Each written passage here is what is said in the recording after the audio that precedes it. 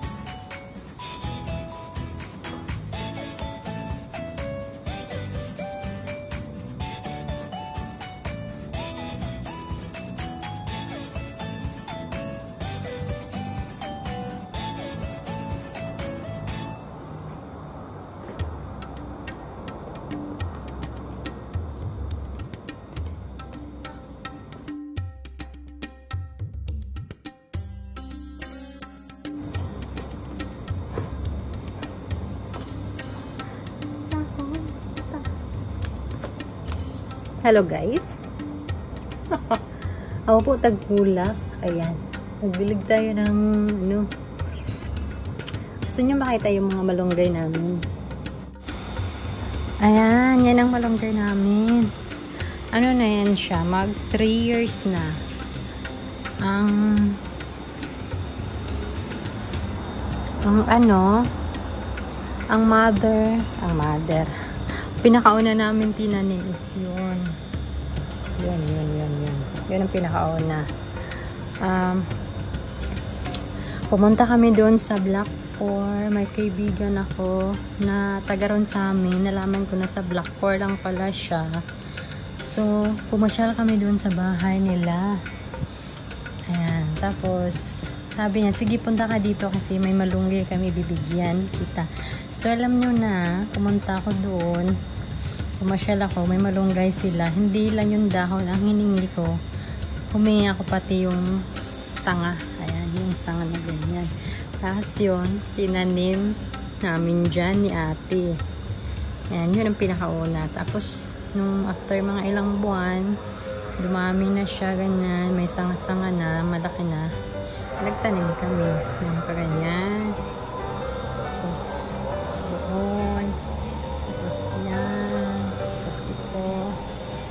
Tapos yan. Yan. Yan siya. Yan, dumami na siya ngayon. Marami na kaming malunggay. Kaya bawat ano, pag ako yung naggulay, asahan nyo, may malunggay yung gulay. O, diba? Healthy living. Diba? Tapos yan, puno siya ng dates. Pagka ano ng ano yung may season na ng ano, mumunga yan siya, marami siyang bunga. Yan, diba? Dami na may malunggay. Saan ka pa? Parang Pinas lang yan. Dati, may tanim ako doon na kamote.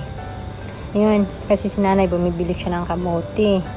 Tapos nung matagal na yung kamote na hindi na na na, na ano na tagal na yung kamote na hindi na na beton naluto nagdahon siya nagdahon. Nakita ko may maliit na dahon. Kaya yung ginawa ko nilagay ko doon tinanim ko. Pag winter time maganda magtanim kasi madaling tumubo.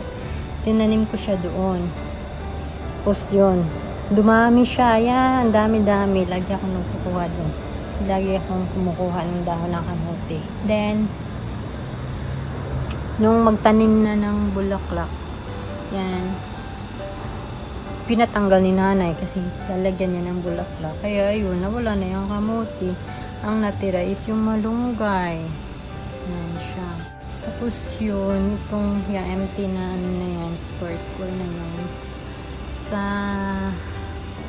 sa ano pag malamig na yung weather mga katapusan ng November tinatanamin niya ng bulaklak. Ayan. may ano pa pala kami dyan no? May ano may aloe vera kami Ayan. paano ng buhok kung paganda yan aloe vera namin tinanim din namin yan ni ate yan actually yung mother ng aloe vera ninakaw namin dun sa kapitbahay kasi yung yung may kapitbahay doon, doon, doon sa kapitbahay roon. Doon sa malapit sa Jamia. Marami siyang aloe vera dati. Tapos nasa labas kasi ng bahay, madali lang nakawin. Tung dumaan kami doon. Sorry po. Doon, nagkuha kami. Yung tinanim namin dyan. Dati, ang dami-dami niyan dyan. Kaso ngayon na nasa paso na siya. Parang mahina siyang tumubo. Parang hindi yata makano yung, tawang ko ba? Ayan, kunti na lang. Dati ang dami-dami niyan. Yan, tinanim namin. Kaso nga, si nanay, pagka taniman na ng bulaklak, pinapatanggal niya yung mga kalat-kalat. Puntahan natin yung tubig kasi puno na. My God, paglitan ako ng amo ko nito.